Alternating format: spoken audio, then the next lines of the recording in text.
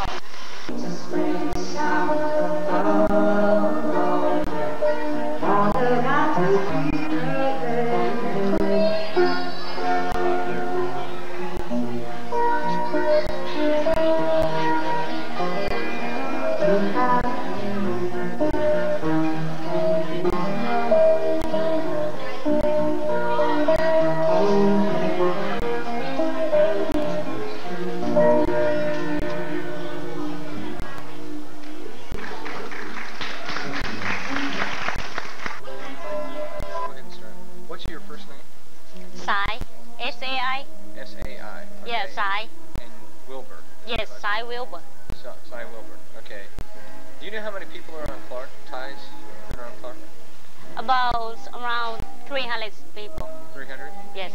So, 300. Okay. Um, okay, let's go ahead. Let's go ahead and. Uh, okay, go ahead and uh, tell me what are you guys doing here today? We're here because it's King's 60 years birthday, so uh, we just celebration for his 60 years birthday. Then that means in a Thai religious Buddha is uh, you born again, you live for another 60 years. And we here we have all dance and uh, culture dance, and uh, we have uh, we might have Thai boxing, but we don't know yet. Uh, what about, um, uh, what else? Geez, you answered everything in my question. Well, how's the turnout tonight? How, does it turn out better or not as good as you thought it would be? It's not not as good as uh, we thought it gonna be, and we thought gonna be lots more people than right now. We expect at least 300 people. But a lot of people sometimes they work late, so they come in later. Later.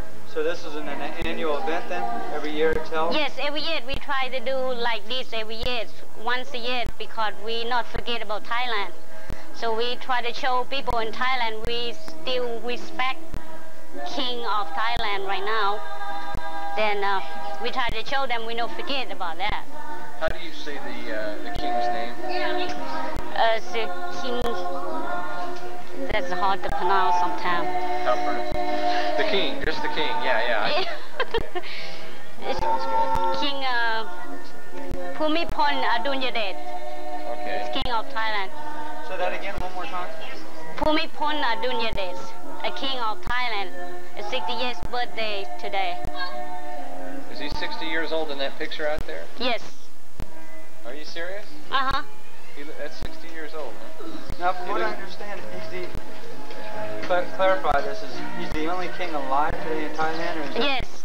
He only king. He the number nine, and he only king alive, and he been king for 47 years. Is that right? Yes. Is he a good leader? Uh, yes, he very good. We uh, we respect him and we really of him. So we try to give this party every year, once a year. Showing his respect. Yes.